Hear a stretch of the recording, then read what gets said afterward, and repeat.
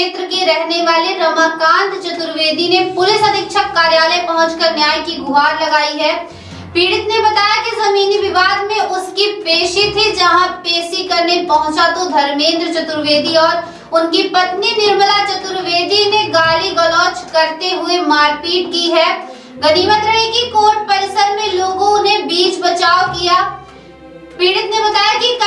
के द्वारा ज़बरदस्ती जमीनी विवाद बनाया जा रहा है वहीं धमकी भी दी जा रही है। आइए सुनते हैं पूरे मामले को लेकर रमाकांत चतुर्वेदी ने किन पर आरोप लगाते हुए पूरे मामले के संबंध में क्या जानकारी दी है?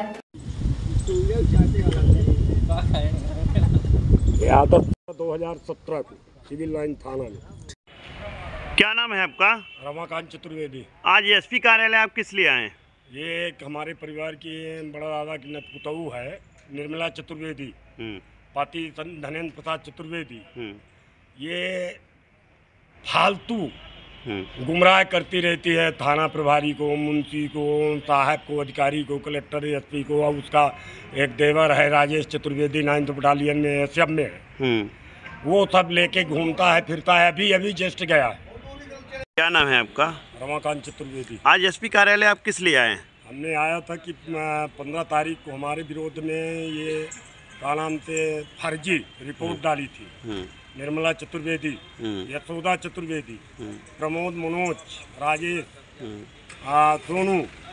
मैटर क्या है? जमीनी विवाद है क्या आपका? जमीनी विवाद है विवाद ही जानबूझ के कर रहे हैं उसमें है नहीं। हाँ। हमारे पिताजी की रजिस्ट्री है। हम्म, हम वो रजिस्ट्री है उस आधार पे हम जोतते बोते हैं संसाठ से। हम्म। हमारे पिताजी जोते थे बोते थे। अब पिताजी इस पार हो गए तो हम जोत बो रहे हैं। तो आपको अब किसके द्वारा फंसाया जा रहा है? इसके निर्मला चतुर्वेदी और यशोदा चतुर्वेदी के द्वारा। तो आपका आपकी क्या मांग है? हमारी मांगे ये है कि फर्जी कार्रवाई ना हो हम लोगों के विरुद्ध में। हमारे ऊपर हमारे भाई और परिवार भतीज के ऊपर जो फर्जी मुकदमा लगाया जा रहा है लगा जा रहा है वो उसको रोका जाए और पूरी जाँच करके ही कार्रवाई किया जाए। चाहे घटना स्थल पे हो चाहे जन जन से पूछ करके। तो क्या पुलिस प्रशासन द्वारा आपके ऊपर दबाव बनाया जा रहा है? पुलिस प्रशासन के ऊपर दबाव नहीं बनाया जा रहा है। पुलिस प्रशासन है क्या कि बुलाता है बार बार जैसे काल अब दिन भर हम पुलिस प्रशासन के अंडर में थे। माननीय सगरा थाना महोदय प्रभारी के। हैं। अब क्षेत्र बहुत ऊपर से ऊपर से किसका दबाव है यहाँ उच्च अधिकारियों का दबाव है क्या कि फर्जी मुकदमा हो?